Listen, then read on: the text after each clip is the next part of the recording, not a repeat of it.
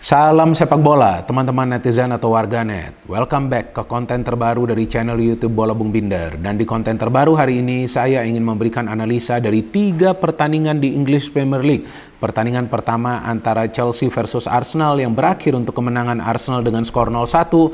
Pertandingan kedua antara Aston Villa versus Manchester United yang berakhir untuk kemenangan Aston Villa dengan skor telak 3-1. Dan tentu saja pertandingan terakhir antara Tottenham Hotspur versus Liverpool yang berakhir untuk kemenangan Liverpool dengan skor 1-2. Kita tahu musim lalu Tottenham bisa menyalip Arsenal untuk bermain di Champions League musim ini.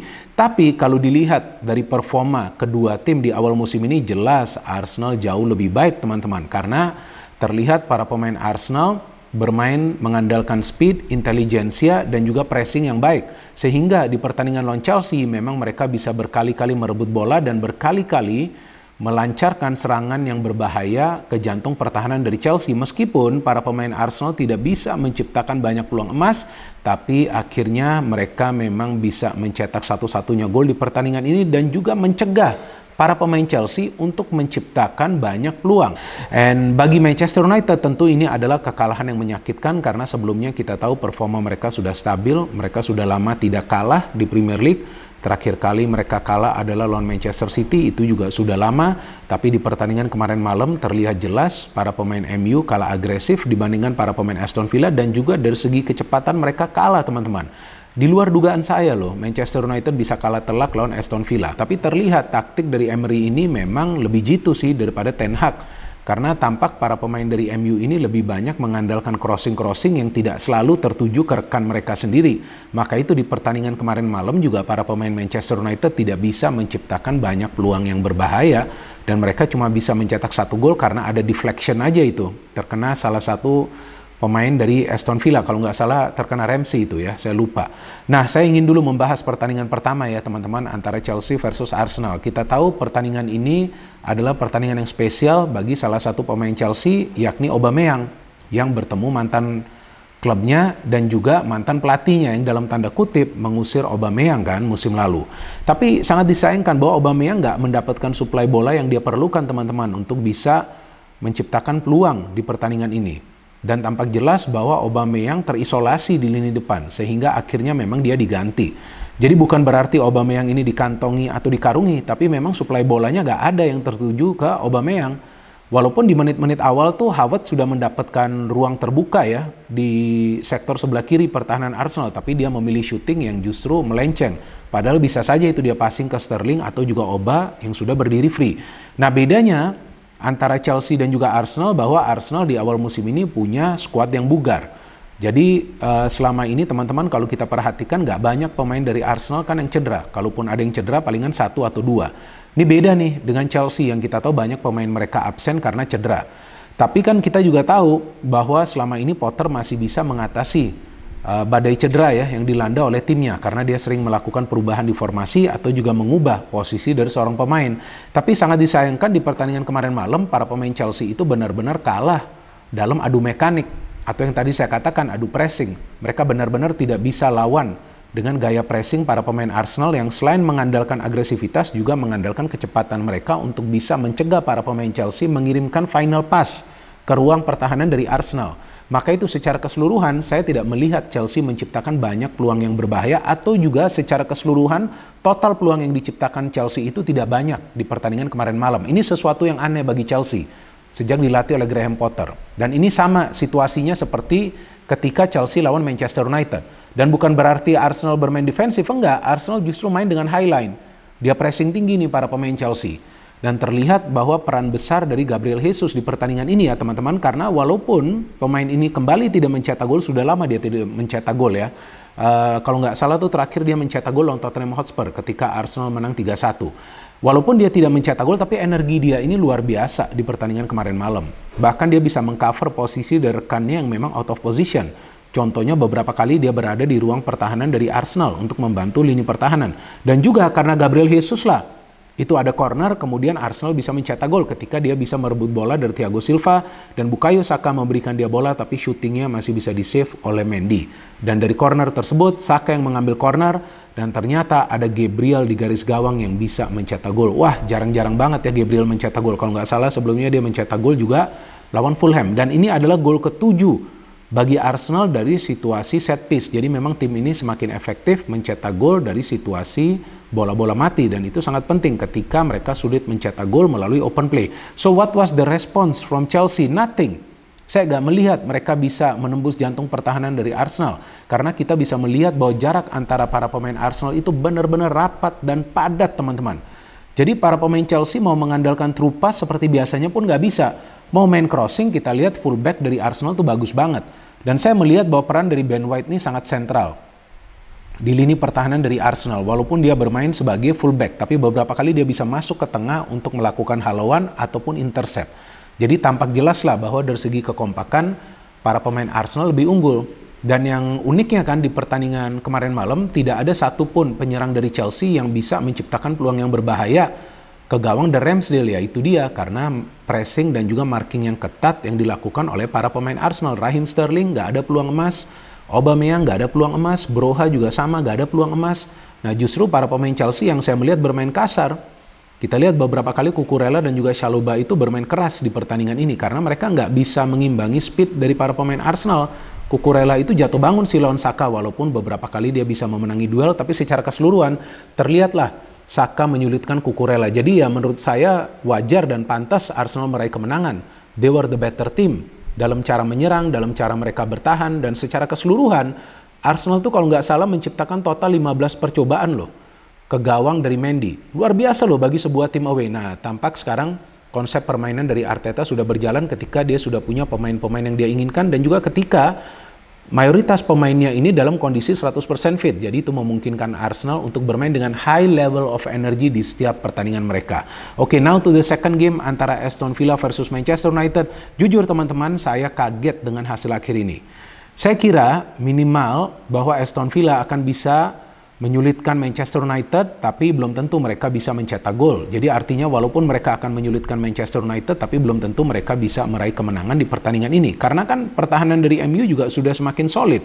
Tapi justru yang terjadi bahwa di menit-menit awal pertahanan dari MU itu kocar kacir.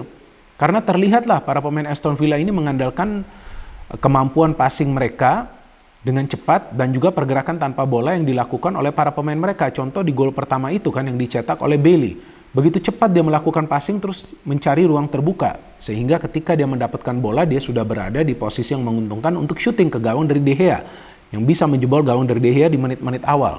Kemudian setelah itu tuh kalau nggak salah pelanggaran dari Luke Shaw kan itu yang mengakibatkan Aston Villa mendapatkan tendangan bebas. Karena memang berkali-kali para pemain Villa itu mengandalkan kecepatan passing dan juga kecepatan bergerak tanpa bola yang membingungkan para pemain Manchester United dan kemudian Aston Villa bisa menambah keunggulan mereka menjadi 2-0. Apa responnya dari MU? Ada responnya dari MU setelah menit ke-30 ketika ada peluang dari Garnacho dan kemudian diikuti oleh peluang dari Ronaldo dari heading. Tapi selain itu saya nggak melihat para pemain MU bisa menciptakan banyak peluang. Kenapa? Karena yang saya melihat mereka terlalu cepat memberikan crossing ke ruang pertahanan dari Aston Villa yang bisa diantisipasi berkali-kali oleh para pemain Aston Villa. Ronaldo turun, sebagai starter menjadi kapten tapi dia hanya mendapatkan dua kali supply bola teman-teman. Satu shooting dia dari luar kotak penalti satu lagi yang dia heading. Itu pun karena ada deflection kan? Terkena salah satu pemain dari Aston Villa. Jadi memang tampak bahwa absennya Bruno Fernandes ini mempengaruhi juga cara menyerang dari Manchester United. Karena saya gak ngelihat ada pemain dari lini tengah yang bisa mengacak-ngacak atau mengganggu konsentrasi para pemain Aston Villa. Sedangkan Aston Villa lebih berimbang kita melihat ada Buendia, ada Leon Bailey, ada Oli Watkins. Ini pergerakannya benar-benar aktif, gak pasif. Tapi kalau saya melihat dari lini tengah dari MU sedikit pasif. Karena Casimiro mau tidak mau harus memproteksi lini pertahanan karena kecepatan para pemain Aston Villa yang terus menggempur pertahanan dari MU. Eriksen kita tahu bukanlah pemain yang mengandalkan speed. Sehingga itu memungkinkan para pemain Villa untuk terus membendung serangan dari para pemain Manchester United. Oke, Manchester United bisa mencetak gol, deflected goal dari Luke Shaw, tapi babak kedua juga sama kan? Lihat baru mulai bagaimana cepatnya tuh Leon Bailey bergerak. Gak ada pressing yang dilakukan di lini tengah sehingga dia bisa shooting keras ke gawang dari De Gea yang bisa di save. Tapi kemudian tidak lama setelah itu Oli Watkins yang lepas di sektor sebelah kanan pertahanan MU bisa memberikan cutback kepada Ramsey yang tidak terkawal sama sekali teman-teman. Tidak terkawal sama sekali loh. Para pemain MU itu tertarik ke dalam kotak penalti. Dan ternyata Watkins tidak memberikan umpan ke dalam kotak penalti tapi cutback sedikit di tepi kotak penalti. Dan uh, Ramsey bisa mencetak gol yang indah, gol yang dengan shooting yang keras ya. Kita melihat dia bisa menjebol gawang dari De Gea, tapi setelah itu juga saya tidak melihat ada respon dari MU. Rashford juga gak berkembang, apalagi Donny van de Beek. Saya gak paham nih bahwa Erik Ten Hag masih memberikan peluang ke Van de Beek karena dia benar-benar gak berkembang, very slow player. Jadi dia ketika memberikan passing itu juga sedikit terlambat sehingga berkali-kali bisa diblok oleh para pemain Aston Villa. Ya kalau menurut saya sih dari cara bermain MU ya layak lah ya mereka kalah ya teman-teman. Jadi memang Erik Ten Hag harus bisa mengubah cara bermain MU ketika ada pemain mereka yang penting yang absen seperti di pertandingan kemarin malam itu kan Bruno. Jadi tanpa Bruno terlihatlah kurang aktif para pemain MU membangun serangan dari tengah. Justru lebih banyak mereka membangun serangan dari sektor sayap dan memberikan crossing-crossing yang tidak sempurna. Nah itu juga tentu tidak bermanfaat bagi Ronaldo yang memang membutuhkan suplai bola. And now to the third match teman-teman, pertandingan ketiga antara Tottenham Hotspur versus Liverpool. Saya berharap Tottenham kalah. Buat apa sih tim ini mau menang? Ya kan, bukannya buat apa mau menang. Oke, mereka memang perlu menang karena mereka ingin berada di papan atas. Tapi gak gampang juga kan lawan Liverpool. Liverpool memang baru kalah. Tapi tim ini masalahnya hanya dalam soal finishing dan juga ketika Pemain dari lini tengah ini tidak proteksi pertahanan karena dua fullback mereka ini selalu keluar menyerang. Dan yang saya lihat di pertandingan kemarin malam memang Liverpool juga tertekan dari serangan yang coba dibangun oleh para pemain Tottenham Hotspur. Dan di pertandingan kemarin ini saya melihat pertandingan antara Tottenham lawan Liverpool ini adalah adu counter attack, bukan cuma adu pressing. Jadi siapa tim yang bisa melakukan counter dengan cepat, nah tim itu punya harapan untuk meraih kemenangan. Dan ternyata Liverpool yang terlihat lebih tajam dalam membangun transisi positif yang cepat. Dan kita bisa melihat bahwa jarak antara Nunes dan Salah di pertandingan ini sangat dekat. Jadi ini baru pertama kalinya saya melihat dua pemain ini bisa bekerja sama secara baik. Bukan saja karena Nunes yang memberikan asis ke Salah, tapi berkali-kali dia bisa memberikan umpan kunci kepada Salah. Tapi Tottenham Hotspur ini yang saya melihat masalah nih bagi mereka ketika lawan tim-tim besar. Mereka sering memilih bertahan, padahal mereka gak bisa bertahan secara benar dan baik. Dan kita bisa melihatlah Liverpool bisa mencetak gol cepat, gol yang indah. Nunes memberikan umpan kepada Salah yang melakukan finishing yang luar biasa. Salah memang membutuhkan gol teman-teman. Dan terlihat Salah bermain sebagai target man di pertandingan ini didukung oleh Firmino dan juga Nunes. Tottenham mau respon, kalau nggak salah tuh Perisic yang punya peluang. Memang Tottenham uh, coba untuk menyerang, tapi saya melihat bahwa counter pressing dari para pemain Liverpool lebih baik. Sebelum akhirnya Dyer memberikan hadiah ya kepada Salah dan Salah bisa menyelesaikan peluang itu dengan begitu baik ketika Dyer memberikan back header ya, back pass ya sepertinya. Dan di sana ternyata sudah ada Salah yang bisa mencetak gol, gol yang indah dari Salah walaupun dia mendapatkan hadiah dari Dyer dan Tottenham terus menyerang tapi saya melihat absennya Son juga mempengaruhi performa dari Harry Kane karena dia tidak banyak mendapatkan peluang di pertandingan ini teman-teman. Tampak suplai bola ke dia sedikit terhambat sebelum akhirnya Kulusevski masuk dan Kulusevski yang bisa memberikan assist kepada Harry Kane dan memang jelang pertandingan berakhir 20-25 menit terakhir Tottenham lebih banyak menciptakan peluang dan lebih banyak menggempur pertahanan dari Liverpool. Kenapa? Karena Liverpool sudah mengendorkan serangan. Klopp membutuhkan 3 poin, bukan membutuhkan 3 gol. Kita tunggu saja teman-teman persaingan lanjutan di English Premier League yang saya yakin akan semakin panas karena jangan lupa Manchester City kembali meraih kemenangan, Newcastle United kembali meraih kemenangan dan tentunya sekarang kita lihat bahwa Arsenal sementara berada di peringkat nomor satu. Liverpool mulai bangkit, sayang Manchester United kalah, sayang Tottenham Hotspur kalah, sayang Chelsea kalah, tapi tim-tim yang kalah karena memang mereka tidak bisa bertahan secara benar dan baik. No hit, no politics, only football, salam sepak bola.